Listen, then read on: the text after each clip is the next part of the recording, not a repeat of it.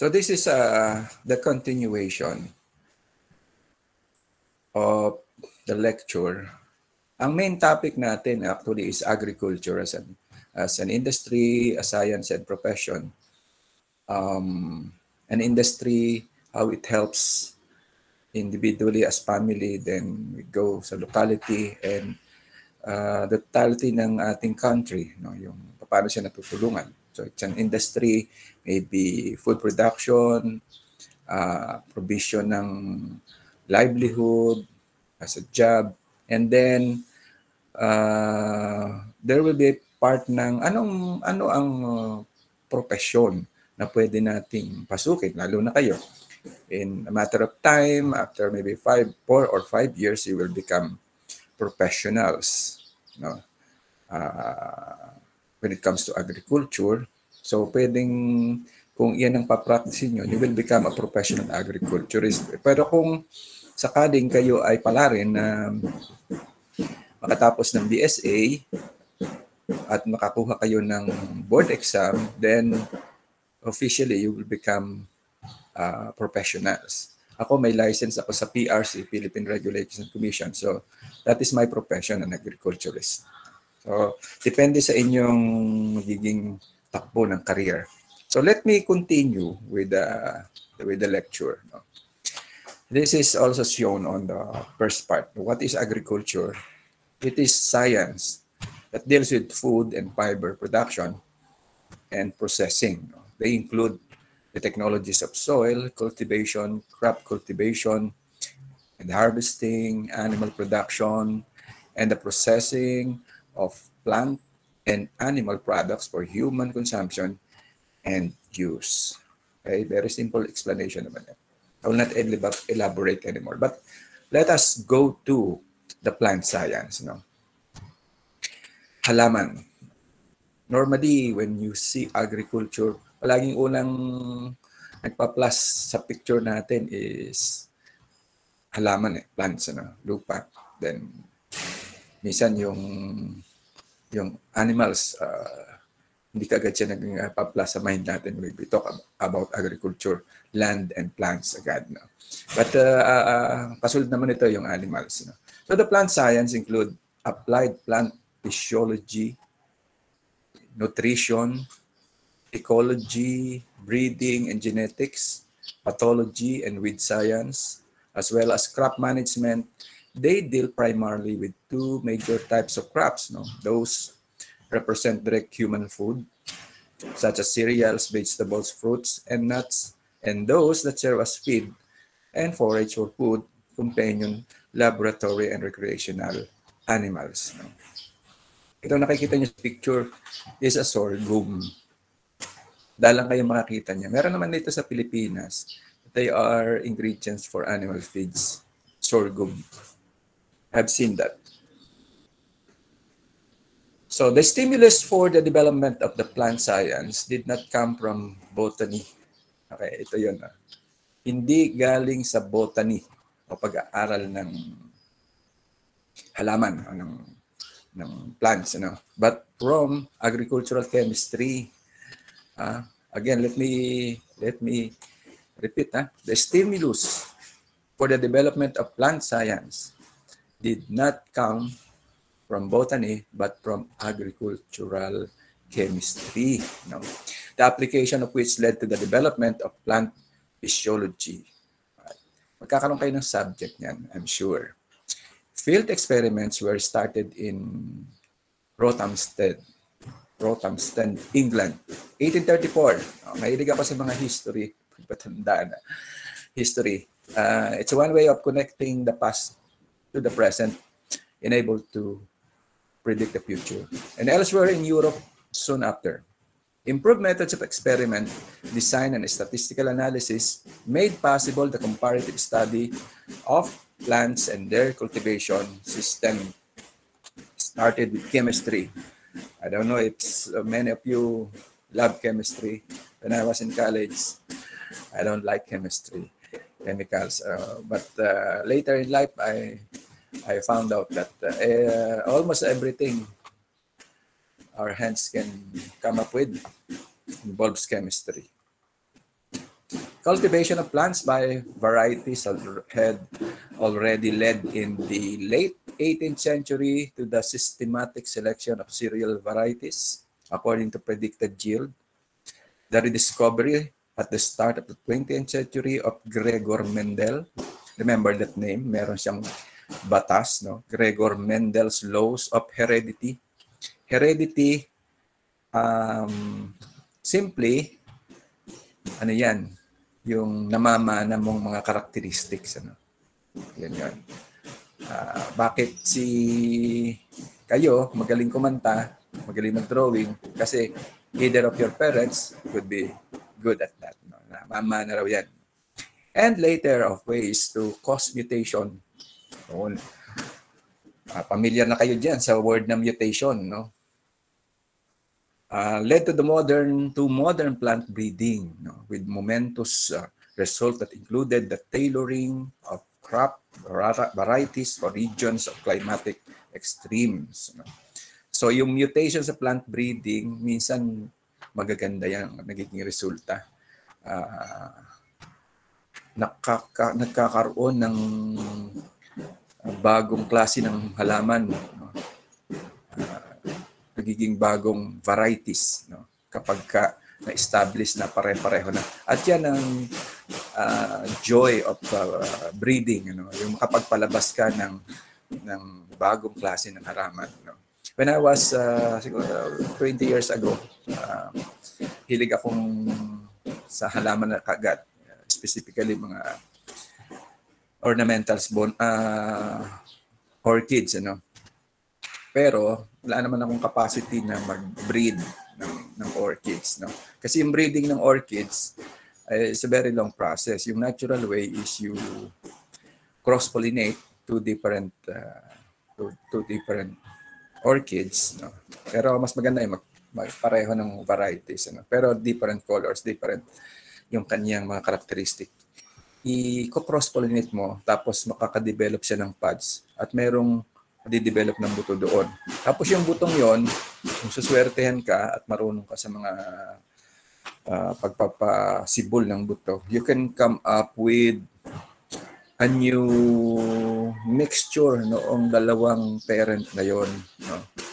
Uh, pero nowadays, masyado, masyadong napakababa kasi ng ng percentage na nabubuhay sa seeds niyan. Ang ginagamit na ngayon yan ay yung tissue culture o kaya yung uh, itinatanim ba sa agar. Yes, it's tissue culture and makaka-create ka ng napakaraming plantlets. At mahilig ako noong bumili noong nasa bote ng mga plantlets. Uh, sa isang bote ng ketchup, makakakuha ka ng 50 o uh, 100 na plantlets. Pero during nung time na yon uh, 20, uh, 12 lang ang nabuhay ko. Marami naman nabuhay, around 50 kalahati. Pero yung naka-survive hanggang sa simimulaklak, iabot 12 pieces, 12 plants lang. Pero nakakatuwa doon, uh, yellow siya na orchids, type of banda. Pero not not a single walang walang nagkatulad doon sa labindalawa na walang exactly alike uh, yung mga dots. Pero normally, sa mga untrained eyes, ano, pare-pareho lang. Pero yung yung sa matagal na nag-aalaga, makikita mo yung difference sa shape, sa, sa mga dots, ano, sa sa intensity ng color, merong pagkakaiba. No? So, yun ay tinatawag na heredity na mamana. Kaso, because there are two uh, different plants na kinross natin, hindi ka makakapagsabi na makakapag-produce ka ng exactly similar doon sa kabila.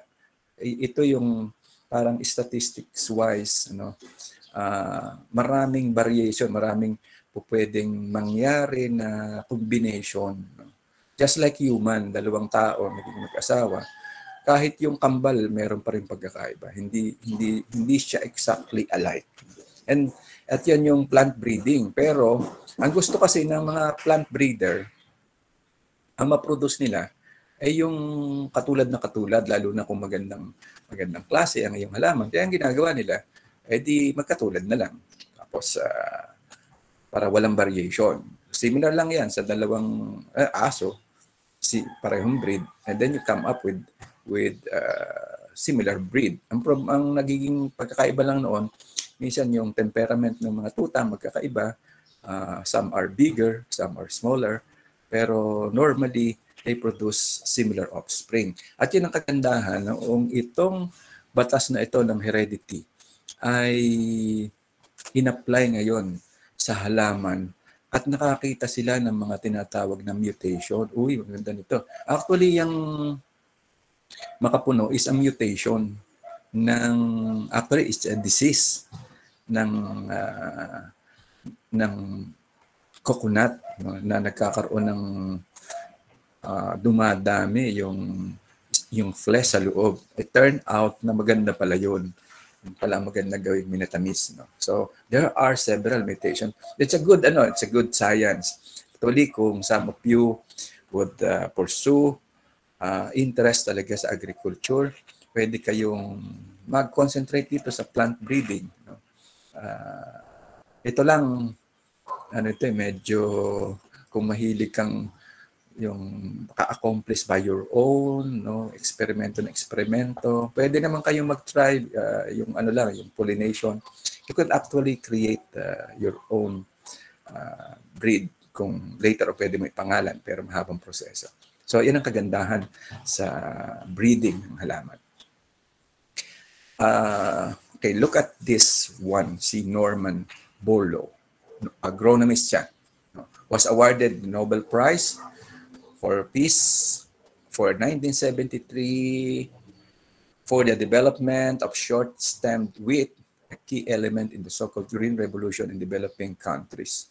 Short-stem, maikli lang. Normally, nangyari din yan sa rice. No? Matatangkad dati ang rice. Yan lang merong uh, disadvantage yung matatangkad. Pag umangin, madaling humapay. No? So, itong mga short stem, mabababa lang siya uh, may advantage saka mas marami siguro na ibunga dahil nutrients will normally uh, goes to the to the cereals ano Another major advances in the study of plant diseases were recorded in the 19th century and the science of plant nutrition matured in the second quarter of the 1900s. Plant diseases na. May story rito sa plant diseases. Okay. There is a serious calamity resulting from the introduction of plant diseases into regions where the region's plants had no immunity against them. Um, makakabalita kayo ng mga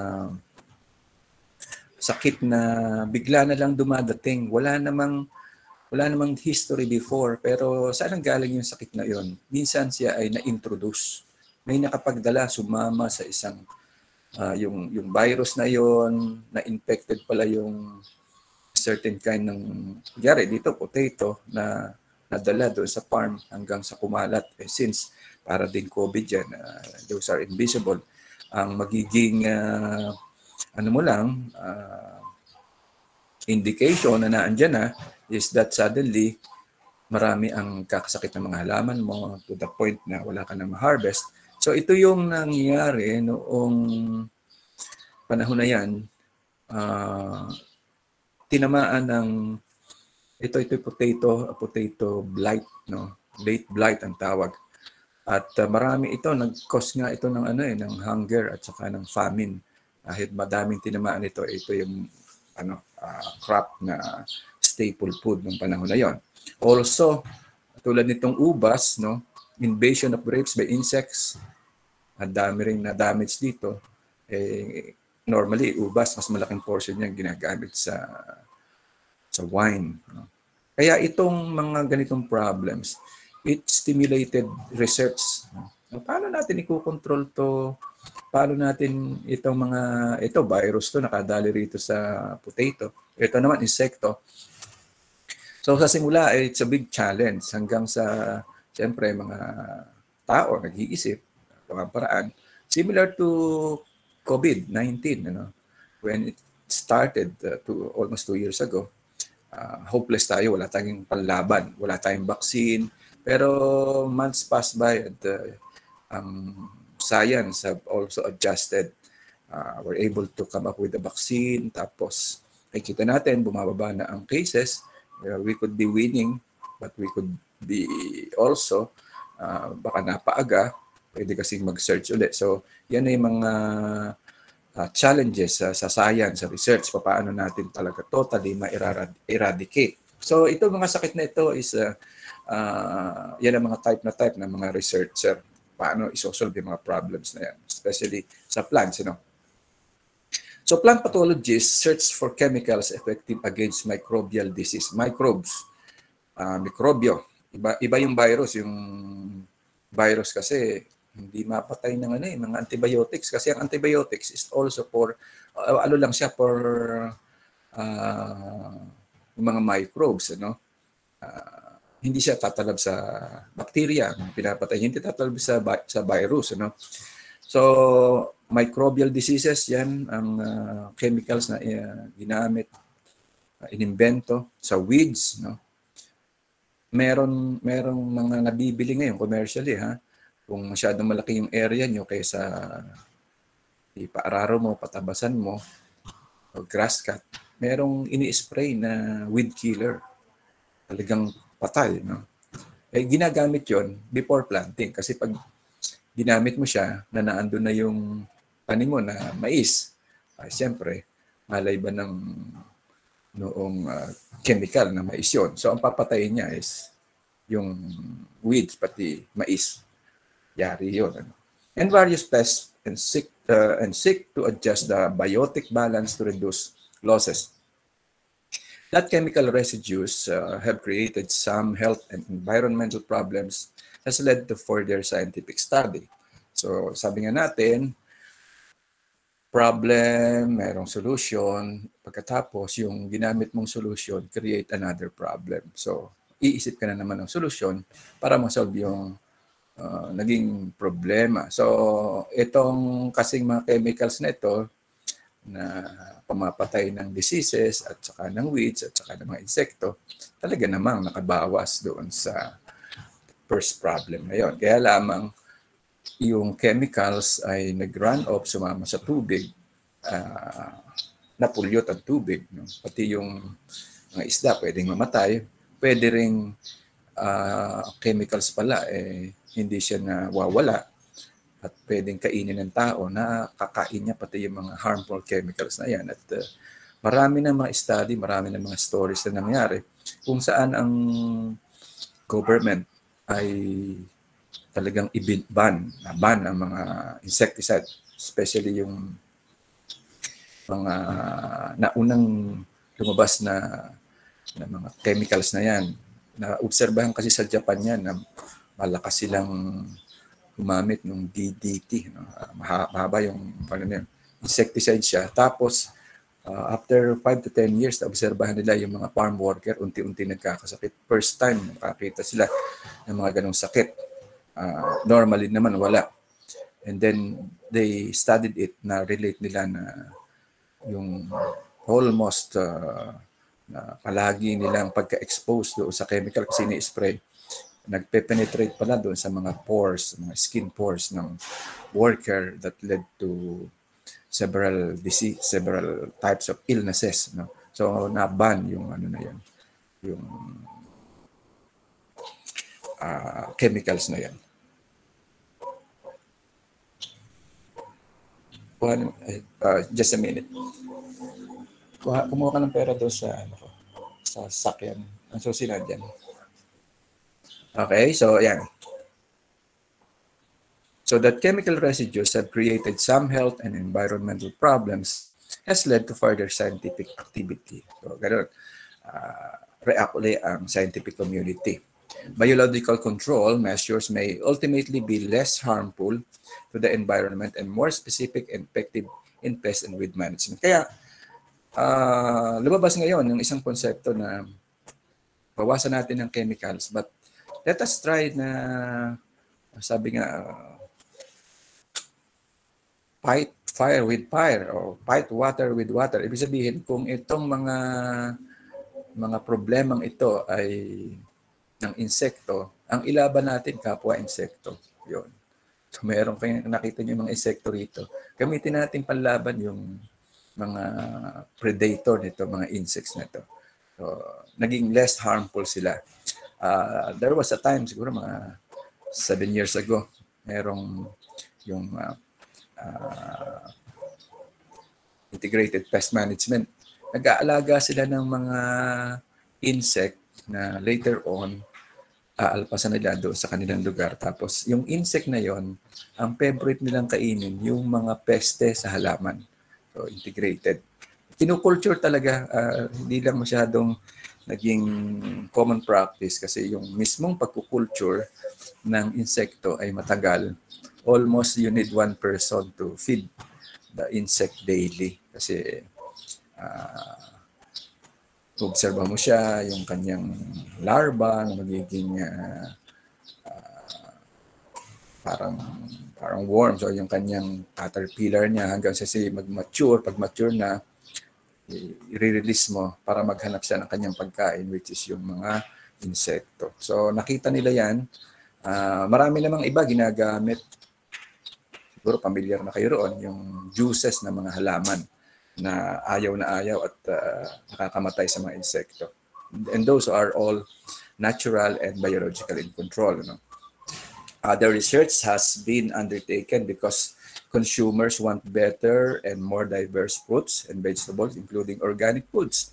Uh, marami na talaga ngayon na uh, choosy na pagdating sa pagkain kasi nga uh, ano na eh, namulat na ang mga mata ng tao because of science na naman na kinokorrelate nila na some of the illnesses or diseases of human are related to the food they have eaten which was not uh, exactly healthy no or deficient in uh, mga necessary minerals na dapat na kailangan ng katawan ng tao. So ngayon yung nauso ngayon yung mga organic foods no, which they believe is more healthy at saka hindi nakakasira ng environment. In fact, meron tayong subject na organic.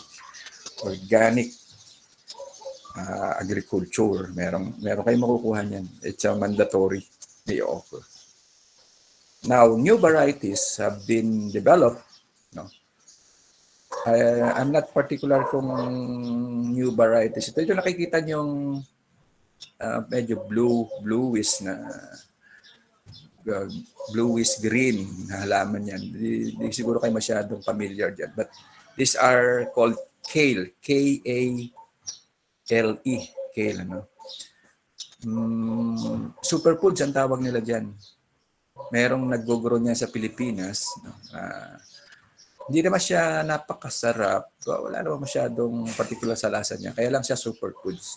Ang daming sinasabing uh, uh, mineral contents at uh, etc. Ginagamit niya siya sa ano eh uh, doon sa mga merong sakit let's say cancer i, ano ito uh, uh, ginagawan juice no? kale juice kasi mataas ang antioxidant siya. So na-develop itong mga halaman na ito no? uh, during the time uh, I heard ang isang kilo nito is 1,000 pesos. Pero maganda sa kanya, kung maitanim mo siya, hindi mo naman bubunutin o di mo puputulin siya. You just uh, pluck the leaves, you know, at uh, yung halaman would stay as long as uh, uh, na uh, kaya pa ng halaman. Na ano rin naman siya, namamatay din along the way. Pero you don't have to ano to cut it, no, yung leaves lang. Kung kayo ano mahilig maging halaman, why don't you try ang kale, punta kayo sa mga agricultural stores, mayroong buto nito na bibili. Uh, medyo mahal nga lang ang buto.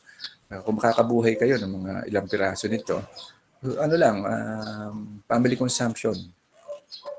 Yan. Pero research muna kayo how to grow it kasi ito ay medyo maselan.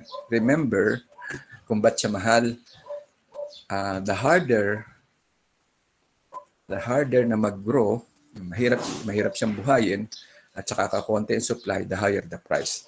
The price is an indication na ang isang halaman o isang gulay has a little supply.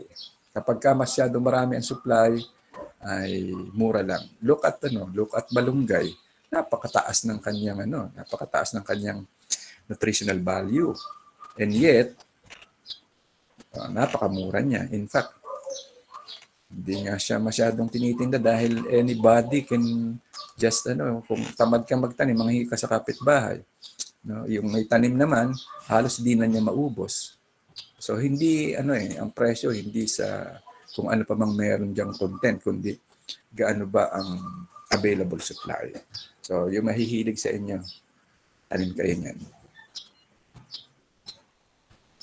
Again, also the preservation and development of historical or heirloom crop varieties. Uh, by the way, ano ba yung heirloom? No? Ang heirloom or heirloom, no? ito yung mga sinaunang varieties. Uh, example, palay. No? Uh, dito sa upland, maraming klase ng palay noon because during my days, during my time, no? bata pa ako, na nakakakain kami nung ang sasarap na klase ng ng bigas, ng kanin, ano, from iba-ibang uh, klase ng palay, uh, binasyan, merong medyo reddish ng kaunti, at saka mabango talaga siya. Uh, dalikit, mga ganun, ang mga pangalan. Yan yung mga mga sinauna. Ang naging problema, itong mga upland rice na ito, sila ay uh, hindi gaanong marami ang kanyang naha-harvest na na ano nito, na grains, no. Uh, na, naging obsolete siya. Dalawang klase kung ba't siya naging obsolete. Number one, yung mga taniman sa upland, nawala yung mga, mga sahod ulan kung tawagin kasi walang patubig sa upland eh. So umaasa lang sa ulan. Tinamad ang mga tao. Tapos nag-introduce ngayon ang government ng uh, program kung saan kinakailangan pataasin ng ani ng bigas kasi nag-i-import pa nga tayo before eh. So napalitan siya ng mga high yielding variety, yung maraming mag-harvest. Similar lang naman ang practice. Uh, kaya nawala to. So isa sa mga ginagawa at actually yung international uh, IRI, no, meron silang stock nitong mga heirloom na mga bigas, no, mga palay, I mean. Uh, meron silang, kung pwede nilang i-ano uli, buhayin uli yan. Kaya lang, uh, because of the population, that the pressure to produce more, ang ginagawa, probably ito ay ginagawa ng mother plant, kukuhanin ang kaniyang isang karakteristic through technology, i-cross sa isang high-yielding variety. Uh, makukuha niya yung lambot ng kanin, yung bango ng kanin, to create, to come up with a new variety. In fact, meron nga yung variety na golden rice. No, dinevelop din ng yan dito sa atin, nasa Pilipinas. Parang pag kumain ka, meron ng star margarine. Um, crop varieties in a growing field as these genetic lines may have favorable traits such as resistance to disease or drought, that can be useful for industrialized varieties or as potential alternative crops. No? So, importanteng ito ay ma-preserve natin. Pero ang ating mga scientists ngayon, ginagamit na itong mother. Kukuhanin ng good varieties. Meron pa nga tayong uh, palay na ano yan, can survive even underwater. So kahit bahain, no, mabubuhay pa rin siya. Yan yung kagandahan uh, ng science, plant science. Now, briefly lang naman yung ating uh, plant science because uh, that will be introduced to you on a more detailed uh, subject later on. Itong sa atin pa, ano lang, overall, o parang bird's eye view. Let's talk about animal science. To understand how agricultural animals convert feedstuffs into food, and other commodities consumers demand, animal scientists have undertaken broad investigation using highly sophisticated techniques. Yan na. Uh, imagine yung bakang Tagalog natin. Meron pa, meron pa akong nakikita mga bakang Tagalog eh. Uh, ang liliit talaga. So kung pag maliit, eh, konti ang karne. Tapos, matagal pa siyang, ano, matagal siyang mag-grow. So you need more time to grow versus sa mga baka na ang breed niya ay malalaki na kaagad. Eh, walang pagkakaiba do sa aso natin na compare yung askal, gano ang difference niya kung may alaga kang Doberman. Kahit pakainin mo na pakainin ng araw-araw ng dog food yung askal, they will not grow. Hindi niya kayang lampasan yung kanya lamang natural na laki. No? Samantalang itong mga large breed na aso, ay kahit minimal lang pakain niya, they will they will grow because yun ang nature nila. Lal, malaki talaga sila. So ganyan din sa sa animals ano. Kaya nga na-introduce ngayon dito yung mga baka na Brahma kung tawagin ano. Yung mga Brahma na uh, ang lalaki talaga, lampas tao ang So pag malaki, malaki rin ang karne, fast growing. Kung intended siya for food, maaga mo siyang pwedeng katayin. No? uh, even even sa chicken, no? yung alaga ko nga ngayon. Kung sa baka merong Brahma, meron ding Brahma sa manok, the largest breed. Merong akong alaga rito ng Brahma na ayaw kung nakita niyo sa picture ko. Talagang laki, no? May nakakakita. Uh, hawak-hawak ko gano'n. Uh, laki talaga niya. So, kaya lang, um, hindi siya intended for food. Kasi pag kinain mo siya, you're like eating uh, 8,000 pesos. Bumili ka na lang ng ano, chooks to go. Makakatipid ka pa. So, hindi siya, hindi siya, yung alaga namin, hindi siya designed for food, but rather for aesthetic, ano yan, alaga, uh, parang pet, no? parang joy of owning. Ganong, ganong kasi, not all are designed for food. So, animal sciences comprise uh, applied animal physiology, yung pag sinabing physiology, katawan niya, ano yung nasa loob noon, no? uh, internal, external, nutrition din, paano siya lalaki, no? breeding and genetics, ecology, uh, how do you, how they interact with the environment, yan ecology, no? and ethology, animal behavior, um, bakit importante itong animal behavior? Merong tulad nito, itong, itong mga chicken na ito, no? ito na-obserbahan ko sa mga alaga ko. Kapag ka sila ay na-stress, mag stop sila ng pag-lay ng egg. Kapag ka nag-molt yung kanilang natural cycle, magpapalit ng balahibo, titigil din sila ng pangingitlog. Ano? Uh, ganun ang meron ding mahilig mag-away, know? meron namang breed ng manok na lang. Tame, meron pa nga akong alaga rito na, eh, parang pet, no? Pag nilagay mo sa balikat mo, kahit maglakad ka lang maglakad, di siya alis doon. Uh, have a video there nung anak ko. Pinatan sa balikat tapos naglakad siya. Di ano, nasa balikat niya. No? Di siya umaalis. So, ito yung mga animal behavior. No? Uh, minsan naman ang animal behavior na ma-modify, lalo na yung mga mga pets natin, aso. No? ano bang may expect mo sa aso kung hindi mangagat, no? Magngat-ngat, ng mga sinelas, uh, and so on. Pero namomodify na train Meron ginagamit silang simple technique like yung uh, ano, ina-award mo kapag nagawa nila yung new utos mo. Yan. So, tinetraining. So, yan ay handle ng ethology.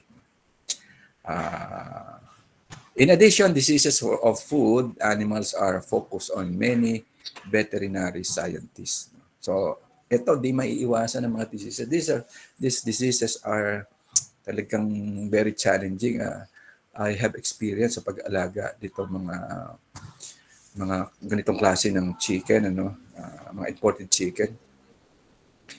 Merong mga times na hindi mo ma-explain, bigla na lang tumitihaya, mamatay. Uh, alagang-alaga mo na siya, di mo na nga siya tinitipid.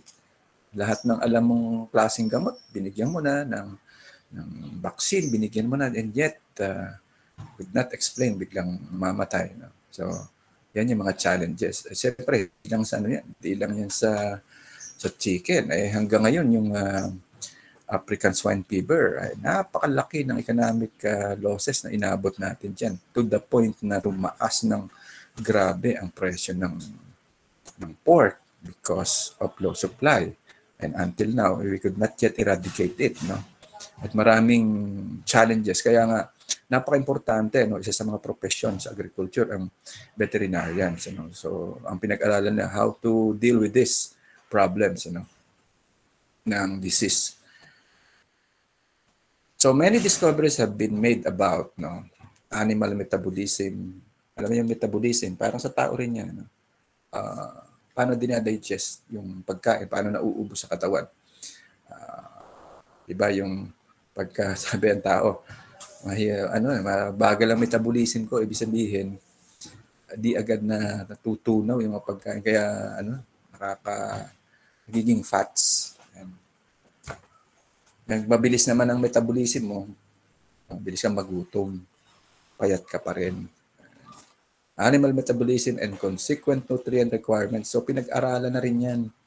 Anong feeds ang ibibigay mo dito. Kaya yung mga integrators natin like San, San Miguel, no, uh, since sila yung may alaga na napakalalaking farms ng, ng livestock, uh, nakakapagtimpla na sila ng uh, type of feeds na talagang saktong-sakto para doon sa requirement ng kanilang mga alaga. No?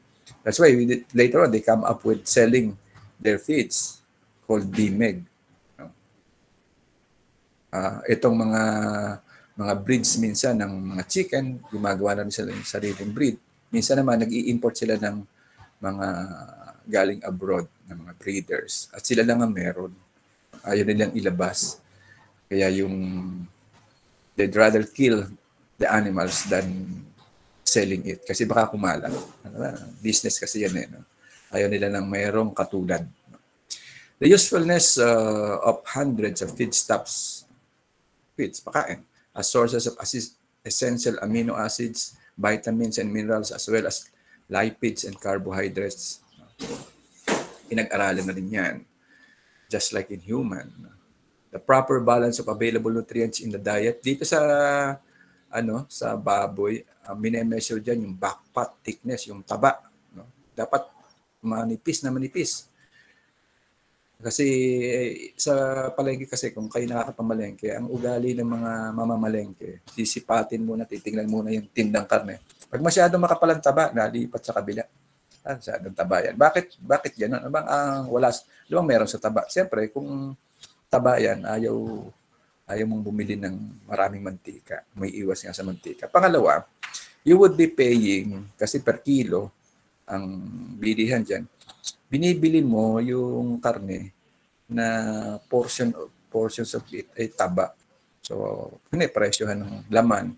Kaya ang gusto ng iba, uh, konting-konti lang ang taba. So, yan yung mga pinag-aaralan sa, sa nutrition, paano ma-eliminate yung production ng, ng fats. Sa baka naman, ang pinag-aaralan nila, ito, ito kasing black and white na yan, no? eh, hindi yan for slaughtering. Yan eh, uh, pagka ganyan ng mga kulay, ginagamit sa milking yan. Gatas. Paano magpuproduce ng maraming gatas. Dito sa Pilipinas, ang isang baka dito, na narinig ko ha, uh, sa Leyte. It, yung Leyte ang pinakamataas ang production ng milk per, per cow. Nasa mga around 8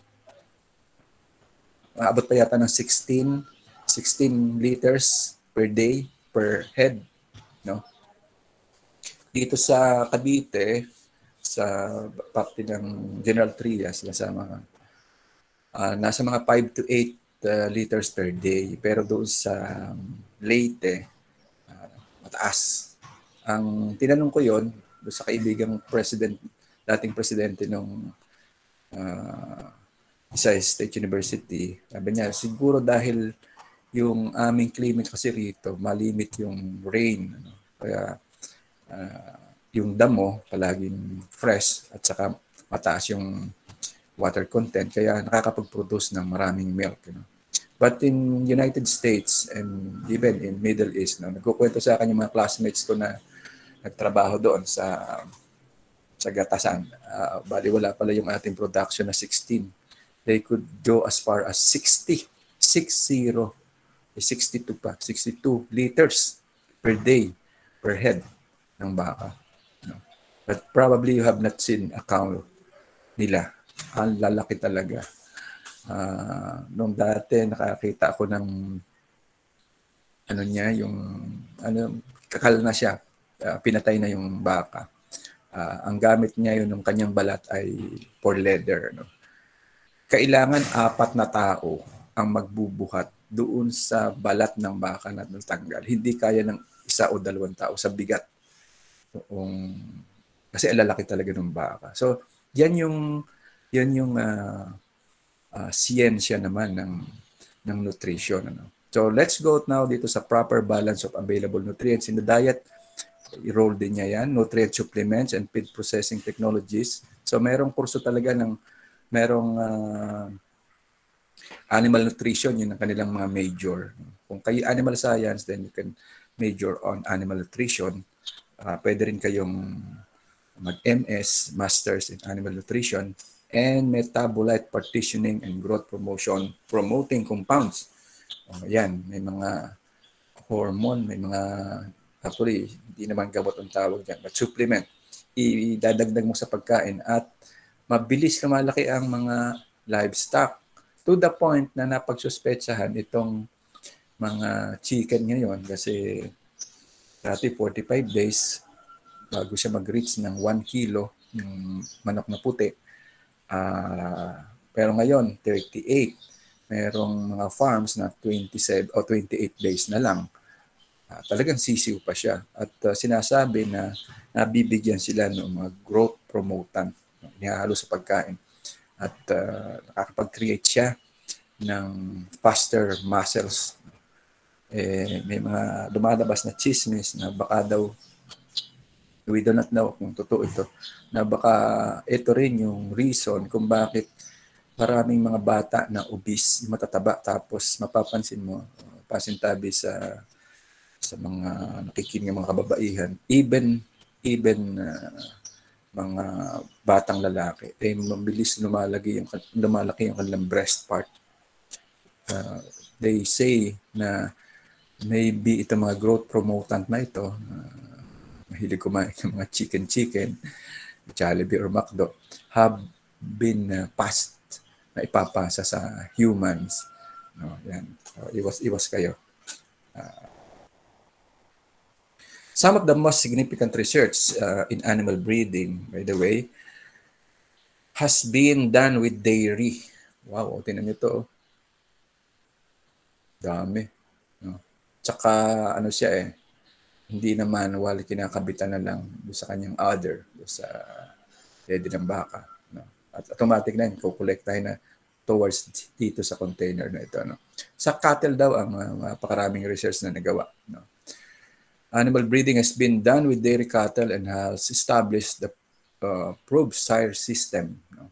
in which bulls are right, ranked according to the performance of their offspring.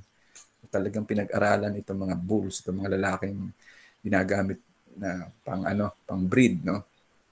The use of sires probe in this uh, way together with artificial insemination, kinukolekta na lang yung semen ng baka, has enabled dairy farmers to improve their herds by greatly expanding the influence of genetically superior bulls. No? So kung talagang magaling itong bulls na ito, kukolektahin yung semen and then i-inject through artificial insemination doon sa mga female cow na for breeding. Tapos, pagka nanganak na siya, yung anak niya, tatanggalin na sa nanay. Paiinumin ng artificial milk kasi yung gatas ng nanay, e eh, kukolektahin naman para ibenta, para gawing whatever purpose. No? So additional basic knowledge and later technological developments made practical uh, the control of estrous cycle responsible sa pagbubuntis ng hayop no and of part, uh, parturition by exogenous hormones and the serial harvesting and transplantation of embryos from donor females of high merit, yung magagandang inahin. The result of these changes have been an increase in the reproductive rate and efficiency of small species of farm animals. Ang dami ng uh, method, no? Uh, minsan ibubuuin mo na sa laboratory tapos ikakarga sa loob ng uh, baka, yung fertilized egg, at doon siya mabubuo. Meron namang yung galing sa bull, sa lalaki, i-inject. So ito yung, normally ito yung proseso. No? Until they come up with a very good uh, breed of cow na very desirable ano, ng kanyang lahi. Animal ecology and ethology uh, ecology, as I explained earlier. Around the middle of 20th century, environmental psychology, uh, physiologists in the United States and UK began to study agricultural animals' relations with their environment, including temperature, air, light, and diet. Uh, humihinang kumain ng sisiw kapag sobrang lamig. Kaya nilalagyan ng mga ilaw interactions among environmental temperature, temperature, diet, and animal genetic makeup have been characterized and great strides have been made in improving thermal environmental management on farms. So, sa ano pa lang, uh, itlog pa lang, doon pa lang sa incubator, no. Uh, yung nung nag-incubate ako, may ano yan, 21 eh, days, pero yung last 3 days niya, uh, dapat iba na ang temperature. So ililipat mo yung itlog itlog doon sa hot. So they become chick, chicks. No? Uh, ang Peking duck, hindi mo pwedeng gamitin yung incubator mo. Ginagamit mo ang setting sa sa chicken kasi iba ang heat requirement. So, dapat hindi magkasama ang itlog nila. Dapat kung chick kung chicken chicken, kung peking duck, kasi iseset mo ang bagong temperature. So ito na pag-aralan yung mga temperature requirement. Ayan. Meron ng exact ano yan, science yan. At uh, all you need to do is to look and, or maybe ask. So lighting, management, napaka-importante na pag-aralan na rin. Ano? Uh, the effects of environmental stress on immune status of livestock and poultry. Uh, related Ah, by the way, ano, uh, ito, hindi to chismis. Meron kayong, meron kayong nakita na kaya na dilata. Uh, actually, corn beef siya. Ang pangalan ng corn beef na yun, Happy Cow. Bakit Happy Cow? No? Kasi, uh, ito ay already, this is already a science proven, ng isang hayop kapag siya ay na-stress, no? tapos pinatay mo siya at uh, pinag-aralan yung karne, nakikita nila yung mga stress bago namatay. Ang karne maitim, tapos contracted, parang nag-umimpis siya. Samantala raw yung mga hayop na happy, kahit karnihin mo siya, yung kanilang karne eh mapula at saka mas hindi tight no So, may relasyon pala yung uh, environment. No? So, ito, in-apply ngayon sa practices uh, slaughtering na hindi na, kanya imagine, ba't hindi ka may stress kung ikay baboy? No? Pag uh, nandun ka sa kulungan, bago ka maikarga sa sa truck, no? Eh, titimbangin ka muna. So pag ikay titimbangin, hihilahin ka ng mga farm worker kasi siyempre baboy ay hindi naman trained yan. Pupwersahin ka, nilalagyan ka pa, sasakluban ka pa sa ulo ng timba para hindi mo makita yung dinadaanan mo. Tapos titimbangin ka. Pag natimbang ka na,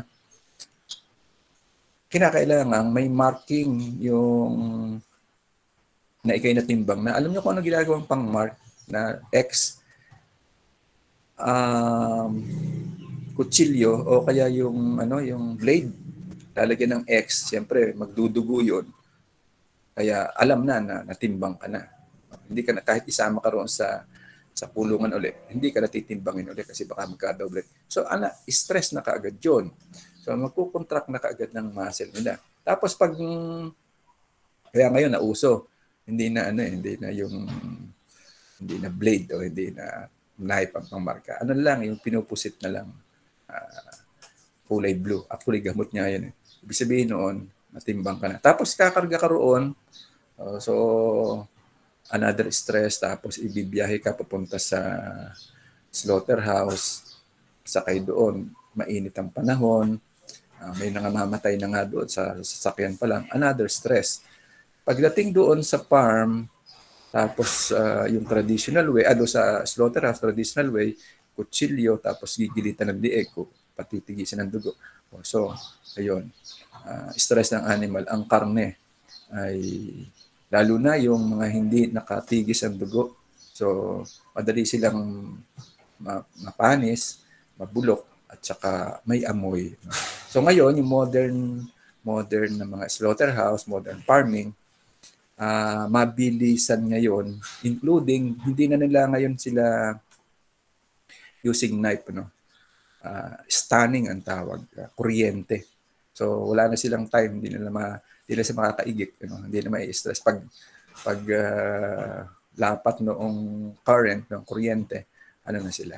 Uh, wala na silang malay. Pero hindi hindi sila namamatay actually. Eh. Na i-stun lang sila. So paralyzed na sila saka lang sila gigilitan o bubutasan ng liig para i-drain ang dugo. Same, similar yan, yung principle na yan. Uh, those are sciences. Actually, kaya ako alam yan. Tinatanong yan sa board exam. ganyan, ganyan mga informations. Dapat alam. Okay, so I think I need to end with that. No? Uh, ang topic natin susunod, part pa rin ng agriculture is agricultural engineering.